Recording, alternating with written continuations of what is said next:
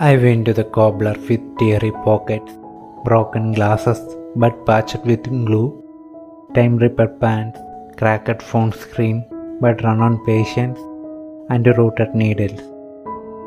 I gave my sandal and sat on the big polished stone. Many sat there before, then it was me. From there I saw many smelled rose and smiled. But I felt nothing, because if you smell rose, you will be delighted, and if you smell some sewage, you will turn away with repugnance.